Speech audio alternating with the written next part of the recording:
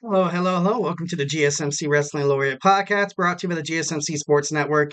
We made it, guys. We made it past the whole week. It is Friday, a beautiful Friday. Hope you guys are out having drinks tonight, you know, or, you know, I'm just kidding. No, I, you know, I don't condone, you know, drinking, you know, because I want to be a good boy. No, I'm just kidding. You, you can have a couple, you know, have fun. Maybe you can have a couple, grab your favorite snack and watch the GSMC Wrestling Laureate podcast because we have an amazing show lined up for you today. Today, I have two special guests. I have my boy Nelson from the GSMC Basketball Podcast and my boy Christopher from the Fantasy Sports Podcast.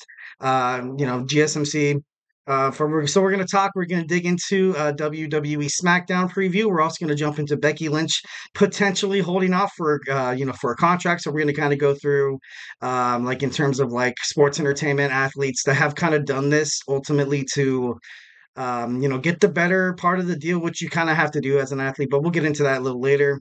Our third segment, we're going to talk about our Thursday night wrestling uh, review, where we get into the we we dive into the Ring of uh, Ring of Honor, Impact, uh, Total Impact, uh, nonstop action wrestling, and a little bit of the uh, National Wrestling Alliance as well.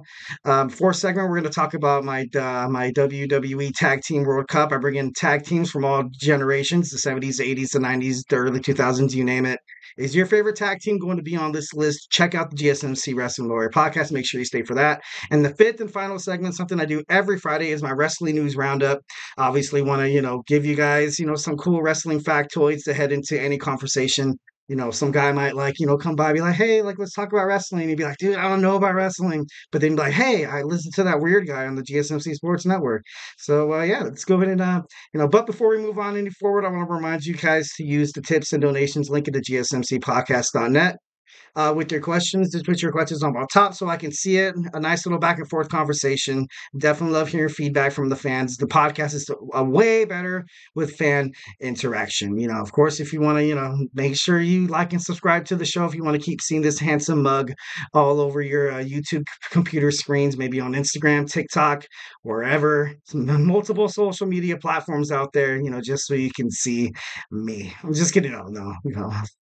But so let's go ahead and dig on to this. Hopefully, I did this right. All right, so far seems pretty Gucci uh, so far. Uh, so yeah, let's go ahead and dig right on into it. Uh, so our first segment, we are going to talk about. Yes, it worked. WWE SmackDown preview. So WWE SmackDown, it's a fallout of what happened at the King and Queen of the Ring in Jeddah, Saudi Arabia. Uh, we are live from, well, not live because it taped on the East Coast already. Uh, but I swear to God, I have not checked TikTok, Instagram, Facebook. So I am as genuine as you are. I have it taped. I have it recorded. Can't wait to get into this. It's going to be sending some shorts about my reactions, about the matches and all the promos and all the storyline change ups. Can't wait to get into that. Um, so we're going to get into Nia Jax's coronation, her celebration, new queen of the ring. Obviously, her dominance was pretty darn great. The victory, you know, we're also going to get into the victory over Logan Paul. Uh, Cody Rhodes tries to, you know, he's going to find out who's is going to face in Glasgow, Scotland at Clash at the Castle. Piper Niven also is going to attack. Uh, you know, if will she continue her attack uh, on Bayley? I'm not too sure. Um, a question that I kind of got for these guys. We'll go with Nelson first. Um, have you personally have you been a, like ever kind of well i know you went to wrestlemania so I, that's you know that's kind of a bad question but uh, you know, I guess I kind of just want to reiterate how the you know how the you know how the just the aroma around you know going to a WWE live event kind of you know what it entails. It's a bunch of people making loud noises, like they're just screaming everywhere. Just everyone screaming. It's a great environment. Like there's just lights everywhere. Like you can you can feel the atmosphere. It's fantastic and I'll move over to Chris. Chris, um, have you had any uh, personal experiences with wrestling? No, I'm on the completely opposite end of the spectrum as you guys. Wrestling is not nice. one of my fortes. I'm like still stuck in like watching old clips of like Stone Cold Steve Austin, that kind now of guy. We're talking. So, now we're talking. So, but I'm ultimately so excited to be on the show. Super hyped to talk about a sport that's kind of unfamiliar to me. Obviously, I'm in good hands with you guys, so should be a great segment. Dude, 110%. So we're also going to go through, uh, you know, who will challenge the next powerhouse, the WWE Women's Tag Team Champions, uh, Bianca Belair and uh, Jade Cargill. Obviously, had Zoey Stark and Shayna Baszler uh, win in a number one contenders match on WWE Raw. We're also going to get a lot of uh, the Bloodline, the Bloodline tag team of to- uh, Tonga and Tanga Loa, the Samoan brothers, finally making their first appearance in the WWE Squared Circle. They're going to fight the Street Profits. And, um, you know, just a little controversy surrounding the bloodline. Right now, you kind of have Paul Heyman, which is the wise man, essentially kind of the manager, the coach, the GM, however you want to kind of phrase it. Um, so it seems like right now the the the bloodline's in disarray. And this kind of makes me think about how coaches, you know, how teams in the NBA, the NFL, the NHL, you know, whatever, whatever, how uh, we'll start with Chris. How important is it to have a coach that you can rely on and, you know, basically kind of steer your team the right way?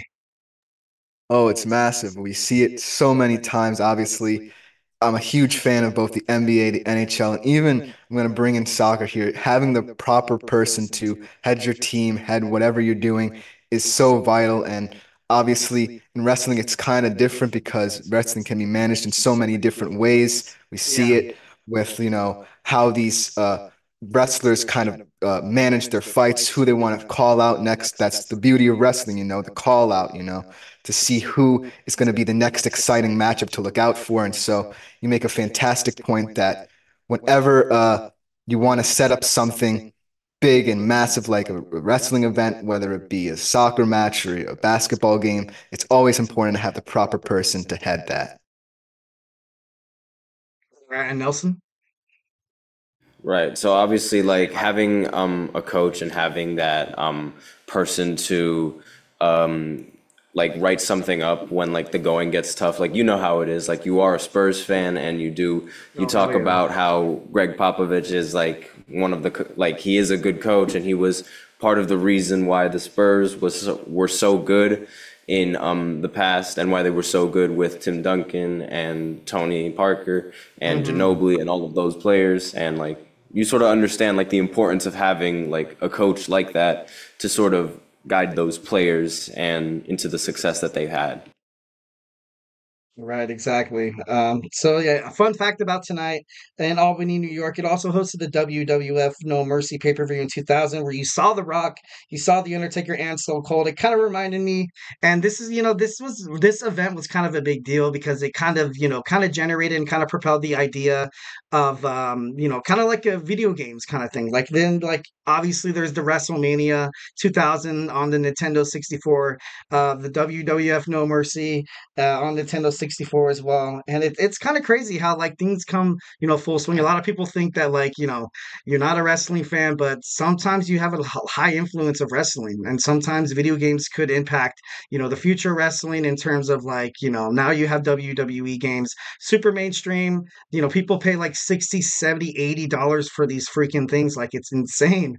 Like, did any of you guys play Nintendo 64? I know you guys are a little on the young side. But do you guys have you guys ever played N64? We'll start with Nelson.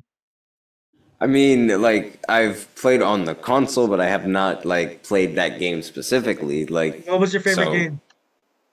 uh, there was I oh my God, that was so young. I um I don't remember that one. I, I, I I don't remember anyone on the top of my head, but like I was so young. How about you, Chris? Did you dig into Nintendo 64 growing up? Nah, I'm actually not a, a huge video game person, but like I can understand the nostalgia of a classic video game console. Obviously, you're a bit older than us, so you obviously have that uh, intelligence in terms of video games and different consoles. So it's exciting to hear about that game specifically. But no, I'm sorry, I'm not a big video game kind of guy. It's all good, my man. It was just, it's so crazy how the game was just influential in terms of uh, the midway games. Obviously, you had Mortal Kombat, you had Tekken, you had Street Fighter, and you also had the NBA Jam series. So the games, I don't know, it's just kind of cool how that all kind of goes, uh, you know, kind of full circle. So, uh, you know, that was it for um, our segment on uh, WWE SmackDown preview. We're going to move on into our next segment about Becky Lynch's contract. So, hey, don't go anywhere.